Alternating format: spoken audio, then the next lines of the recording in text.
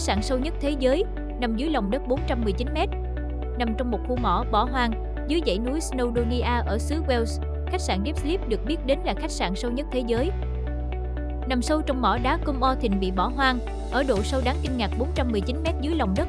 Nếu muốn trải nghiệm sống trong khách sạn này, du khách không những phải trả phí 688 đô la Mỹ một đêm mà còn phải trải qua chuyến thám hiểm đầy thử thách, băng qua những con đường dốc và các hầm mỏ cũ kỹ.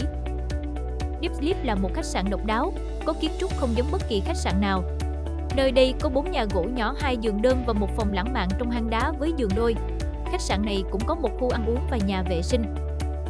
Khách sạn Deep Sleep được khánh thành hồi tháng 4 bởi công ty Gobello. Điều đặc biệt, khách sạn chỉ mở cửa đón khách một đêm tuần. Vào các ngày thứ bảy, du khách sẽ bắt đầu chuyến thám hiểm vào lúc 17 giờ chiều ngày thứ bảy hàng tuần. Nhờ sự trợ giúp của hướng dẫn viên ở gần thị trấn Blenofettini Ốc, những người thực hiện chuyến đi sẽ phải đội mũ bảo hiểm và trang bị một số đồ bảo hộ khác để xuống cung o thình mỏ đá lớn và sâu nhất bị bỏ hoang trên thế giới. Họ sẽ phải leo qua các bậc thang cũ, những cây cầu vô chủ và con đường trơn trượt.